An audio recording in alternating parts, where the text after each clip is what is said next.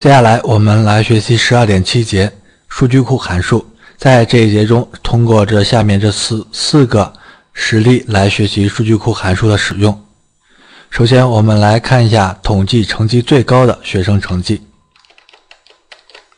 在 Excel 中，选择文件选项卡，单击打开数学、英语、哲学总成绩这样一个条件条件区域，单击确定按钮之后。即可计算出这个平均成绩，它计算出的是这个总成绩的这个平均成绩。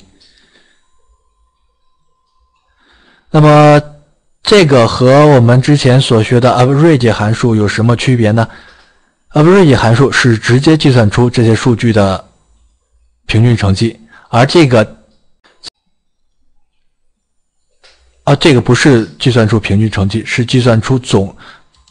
呃，最大值这些成绩中的最大值，最大值和那个之前下方列出的这个最大值，这有什么区别呢？这个 d max 是表示的是符合这些条件的这个最大值，在下方会加入了这个条件。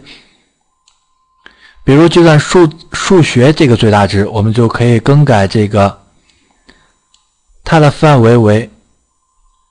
它的列为第二列，它这个条件为 A 十六到 B 十七，单击输入按钮，它就会计算出数学所有数学成绩中的最大值。这个 d max 计算的最大值是要求我们来选择条件，根据条件来统计出所选的最大值。下面再来看一下。计算员工的总销售量。我们在 Excel 中选择文件，打开，打开随书光盘中的 dsum 这样一个工作簿，单击打开。我们要计算出它的总员工的总销量。我们在这个销售量中计算出性别为男的。性别为男的这个员工的总销售总量，我们可以使用 dsum 函数来进行计算。在这个单元格中，单击插入函数，选择数据库类别中的 dsum。这 dsum 函数是求满足给定条件中数据库中的记录的字段。数据的和，单击确定按钮。